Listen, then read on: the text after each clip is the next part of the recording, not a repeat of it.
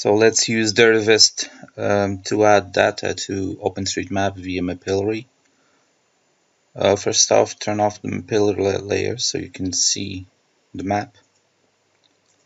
In this case, we will map um, waste baskets.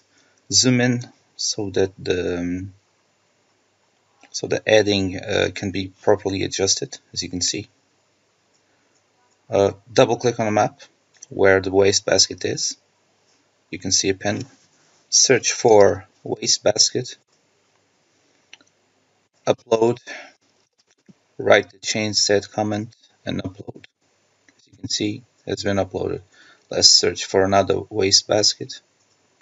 So we can map it. There's another one up ahead. Again, same thing.